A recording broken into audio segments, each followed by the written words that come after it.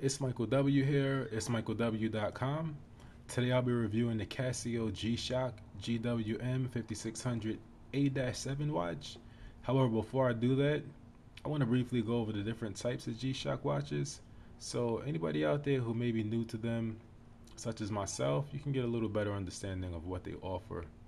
You have the Tough Watch, Tough Solar, and the Solar Atomic. Mm, tough watches, those are battery powered only. So when the battery dies, the watch dies, and needs to be replaced. Those batteries last usually around one to two years. Tough solar watches, in addition to the regular tough watch, they're also solar powered. So as you can see in this watch, let me um zoom in a little bit. In that bottom right section, you have an L, M, and a W, just indicating the battery level. After being in the sun for about five minutes, this watch is fully charged, and off of a full charge, it lasts up until eight months. One step above, you have the Solar Atomic Watch, and in addition to being solar, it's also multi-band 5, and what that means is it receives automatic time signals. So basically, you never have to manually set the time. Going over the different screens of the watch, on the home screen, as you can see here, it has the hour, minute, and second. Above in the top right, you see the month and the day. To the left of that, you see the day of the week. Today's Tuesday.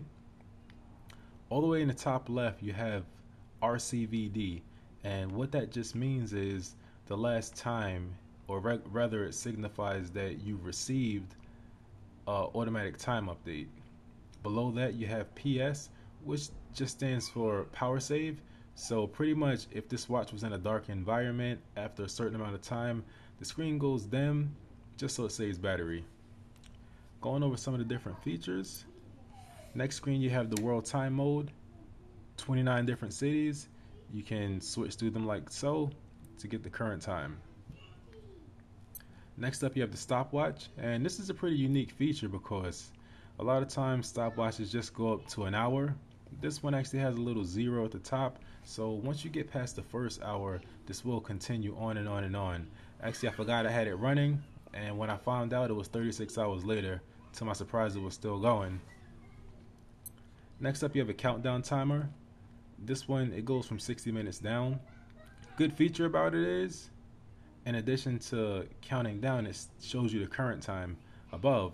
So you don't have to switch between the different modes. Next up, you have a, the alarm feature, and it actually has five different alarms built into it. The first one does have a snooze feature. Now, as I'm switching through the different modes, that beep noise that you get, that's about the, the same volume that the actual alarm is. So if you're a heavy sleeper or something like that, probably not the best alarm clock for you.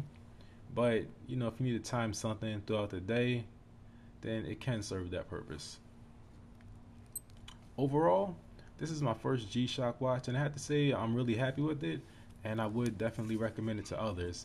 Has a nice resin band, it's durable, it's also comfortable.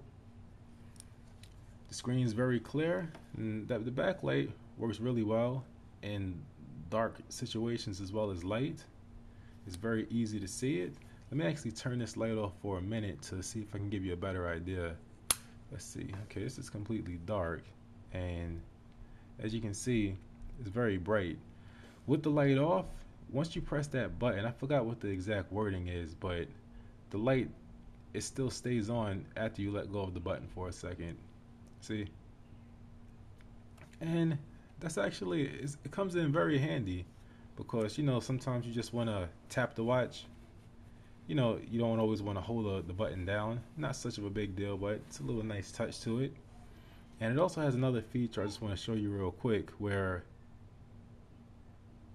if you keep that button held down, what it actually does is it has another feature. Again, I can't remember the exact wording for it, but basically, if you were to tilt your wrist, then it would do that same feature with, without you having to actually press the button. So if you're driving, something like that, it's a nice touch to it. Um, that's pretty much all the features of this watch.